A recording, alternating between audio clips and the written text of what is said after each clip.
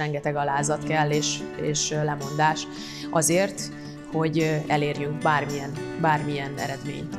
Ami persze, hogyha valaki te kicsit tehetséges és szereti csinálni, ez nem, nem lemondásnak számít, hanem, hanem örömnek, hogy, hogy mehetek végre, megint meccs van, és együtt lehetek a csapattal, és egy jó közeg, és egy jó sport, és szereti csinálni. Azokból mindig lesz valaki, akik így állnak hozzá.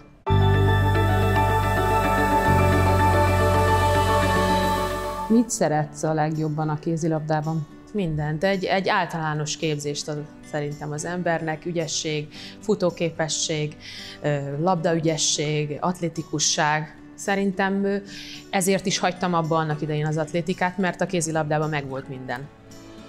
Mi az, ami téged jó kézilabdázóvá tett? Önmagáról az embernek mindig nehéz beszélni hogy most tényleg én lettem, én voltam a legjobb, voltak mellettem még hasonló képességű játékosok.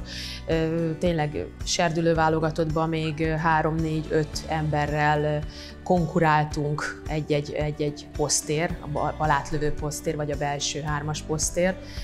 Pályán kell maradni, nagyon kell szeretni, mindent alá kell rendelni, és hát biztos, hogy volt egy kis tehetségem is hozzá.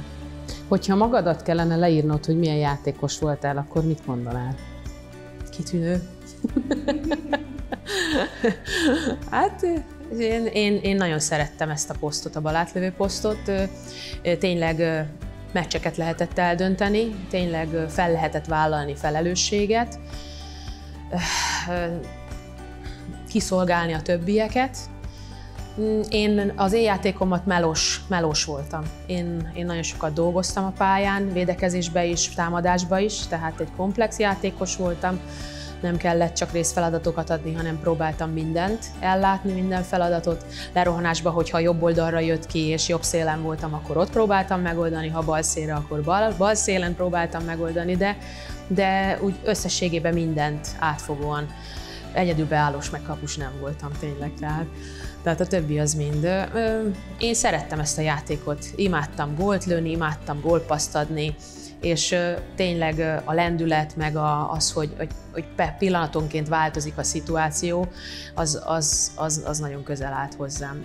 Hogy milyen játékos voltam, mert erre még mindig nem válaszoltam, Hát biztos jó voltam, mert sok embernek tetszett. Sok embernek tetszett a játékom, sok ember értékelte, magammal mindig kritikus voltam, és mindig próbáltam jobb és jobb lenni minden mérkőzésről, és azt megvalósítani, amit az edzők mondanak. Tehát azért nem voltam fegyelmezetlen játékos sem. Mit neveznél a legnagyobb sikerednek? De nehéz megmondani, mert ugye évről évre mindig teljesíteni kellett. Ugye elkezdtük ugye serdülő válogatottként, vagy serdülőbe a, a klubcsapatba, ott is teljesíteni kellett. Év végéken, amikor ugye a, a, a világversenyek voltak, ott is teljesíteni kellett, tehát tulajdonképpen 300, napból, 300 napot teljesíteni kellett egy évben, és akkor volt egy pár nap szünet, amikor el, elmehettünk nyaralni vagy telelni, éppen hogy jött ki a lépés.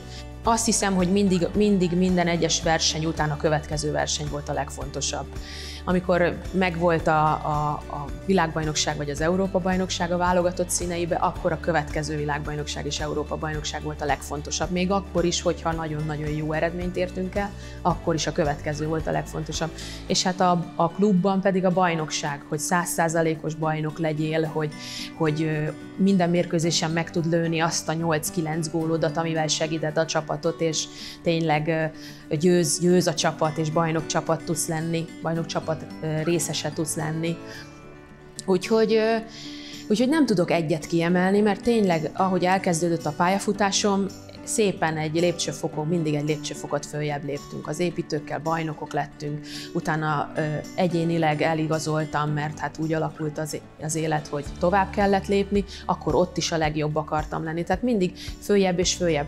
Karrieremben is úgy választottam mindig ö, csapatot, hogy, hogy ha lehet, akkor európai kupa csapatban benne legyen, ö, játszunk bekket, vagy vagy, vagy kupa, kupa döntőket, kupa döntőig eljuthassunk. Tehát tehát mindig, mindig a következő cél volt a legfontosabb. Most, most a legbüszkébb arra vagyok, hogy, hogy beválogattak a hírességek csarnokába, mert ez valahol igazolja azt, hogy valamit jól csináltunk, valamit jól csináltam, és, és, és igyekeztem a maximumot kihozni belőle.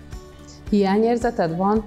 Hát az ember, ha így leül, mélyre lecsüccsen és hátradől, akkor próbál számot vetni, akkor biztos, hogy vannak olyan szituációk, amiből utólagosan hiányérzet tör elő, de, de akkor az a szituáció a tudásunk legjavát adtuk bele, és azt úgy próbáltuk meg megoldani, ahogy akkor a, akkor a helyzet hozta.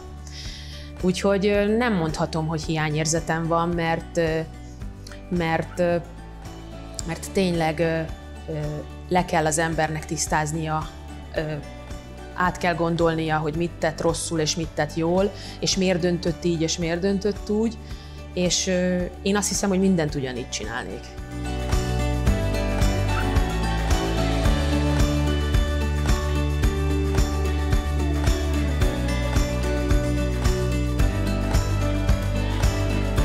Az egész életem a kézilabda körül forog, még ma, mai napig is. Az életem. Tehát én ebbe csöppentem bele gyerekkorba, és, és, és, és nem bántam meg, hogy már nem, nem, nem más sportágot választottam, hanem a kézilabdát. Úgyhogy én mindig mondom, hogy alázatosan próbálok visszaadni annyit a kézilabdának, amennyit kaptam tőle, és ehhez, ehhez tartom mai napig magamat.